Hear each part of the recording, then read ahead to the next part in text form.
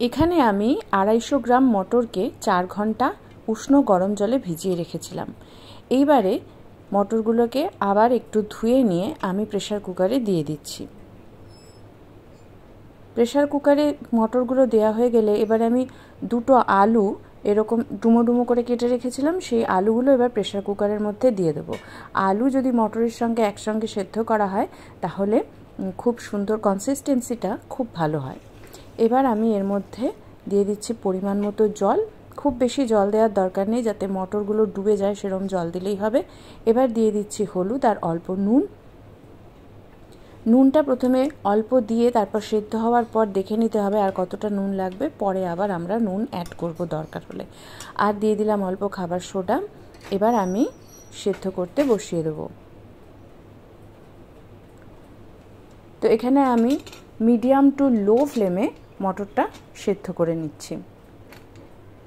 প্রথমে আমি এখানে দিয়েছিলাম ছটা সিটি দিয়ে তারপরে নামিয়ে যখন সেদ্ধ হওয়ার পর দেখলাম আরেকটু সেদ্ধ হবে, আরও দুটো আমি এখানে হুইসেল দিয়ে তারপরে এই যে ঢাকনা খুলেছি এখন পুরো সেদ্ধই হয়ে গেছে, এবার আমি আলুগুলোকে এর সঙ্গে হাতার পেছনটা দিয়ে ভালো করে ম্যাশ করে নেব। আর ওদিকে আমি কিছু সবজি যেমন টমেটো, শসা আর ধনে পাতা কুচিয়ে রাখলাম। যখন ভালো করে এটাকে আলুটা ম্যাশ করলে কী হবে এই যে মটরের যে সেদ্ধ করলাম যে মটরটা না, ওটা পুরো ঘন হয়ে যাবে। তো তার সঙ্গে আমি অল্প জল মিশিয়ে এটা আবার একটু ফুটিয়ে নিচ্ছি। এই যে জল দিয়েছি, দিয়ে এবার আমি ভালো করে এটা একটু, জলটা যাতে আর একটু ঘন হয়ে যায়, এই যে ফুটিয়ে নিচ্ছি। এবার আমি গ্যাসটা বন্ধ করে দেবো। মোটামুটি এই রকম মানে গ্রেভিটা এরকম হলেই আমার হবে। খুব ঘন হলে ঘুগনি কিন্তু ভালো লাগে না খেতে। সেই জন্য, আর যেহেতু শুধু খাওয়া হবে না, রাত্রে রুটি দিয়ে খাওয়া হবে, সেই জন্য একটু তরল আমি করে নিলাম। এবার আমি পুরোটা একটা বাটির মধ্যে ঢেলে নিচ্ছি।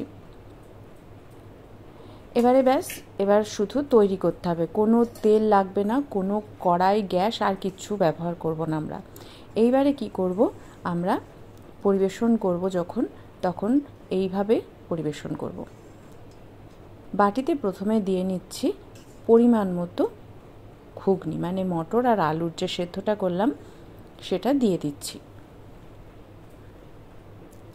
এবার এর মধ্যে কিছু জিনিস আমরা অ্যাড করব। প্রথমে দিয়ে দিচ্ছি অল্প বিট নুন বা ব্ল্যাক সল্ট এটা দিয়ে এবার দিয়ে দিচ্ছি অল্প গোলমরিচের গুঁড়ো। আর দিচ্ছি ধনে জিরের ভাজার গুঁড়ো। আচ্ছা আমি এখানে দুরকমভাবে এটাকে পরিবেশন করে দেখাবো। এইটা হচ্ছে নিরামিষ। এবার দিয়ে দিচ্ছি টমেটো কুচি, দিচ্ছি শশা কুচি আর দিয়ে দেবো ওপর থেকে ধনে পাতা কুচি। এর দেখতেও কিন্তু ভীষণ কালারফুল হয় আর খেতেও কিন্তু খুব সুন্দর হয়। যেহেতু এতে তেল মশলা কিছু পড়ে না, স্বাস্থ্যকরও আর সুস্বাদুও। রেডি হয়ে গেছে আমাদের মটরের ঘুগনিও বলতে পারেন, এটা ঘুগনি। আপনারা যদি চান এর মধ্যে তেঁতুলের জল মেশাতে পারেন, আমি এতে দিইনি। তেঁতুল বাড়িতে থাকলে তেঁতুল গরম জলের মধ্যে ভিজিয়ে তারপরে সেটাকে ভালো করে নিংড়ে নিয়ে জলটা বের করে তারপরে এর মধ্যে দিয়ে দিতে পারেন। এবার আমি আর এক রকমভাবে করছি। একই মশলা একই দিচ্ছি, যেমন বিট নুন গোলমরিচের গুঁড়ো, তারপরে দিয়ে দিলাম ভাজা মশলার গুঁড়ো দিয়ে ভালো করে একটু মিশিয়ে নিলাম। মিশিয়ে নেওয়ার পর এরপর এর এর মধ্যে আমি দিয়ে দেবো অল্প কাঁচা লঙ্কা কুচি। কাঁচা লঙ্কা কুচিটা আপনার যেরকম ঝাল খান সেইভাবে দেবেন। এবার দিয়ে দিচ্ছি পেঁয়াজ কুচি। ব্যাস, এই পর্যন্তই। তার বাদে বাদ বাকি আগে যা দিয়েছি তাই দেবো। শশা কুচি, টমেটো কুচি, ধনে পাতা কুচি, ব্যাস। এটাও একরকম খেতে হয়, যেহেতু পেঁয়াজ দেয়া থাকে, অল্প কাঁচা লঙ্কা দেওয়া থাকে। কাঁচা লঙ্কাটা আগের বারে দিইনি, কারণ ওটা বাচ্চার খাবার সে আর যেহেতু ওর এক বছর পালন করবে এক বইতে সেই জন্য ওকে পেঁয়াজ দিইনি। আপনারা অবশ্যই জানাবেন, কিন্তু কেমন লাগল সবাই খুব ভালো থাকবেন, দেখা হবে খুব শীঘ্র